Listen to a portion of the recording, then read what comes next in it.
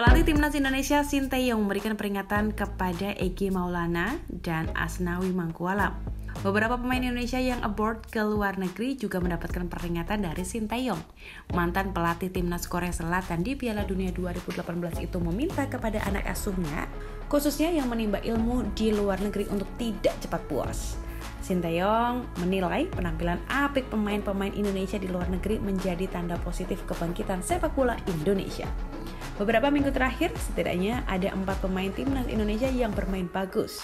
Egi Maulana Fikri mencatatkan satu asis untuk timnya Vion Zlate Moravce pada laga Piala Slovakia kontra Ruzomberok pada 20 Agustus 2022. Sedangkan Witan Sulaiman melesakan dua gol dan menciptakan satu asis saat AS Trencin melumat Slovan Lohevec.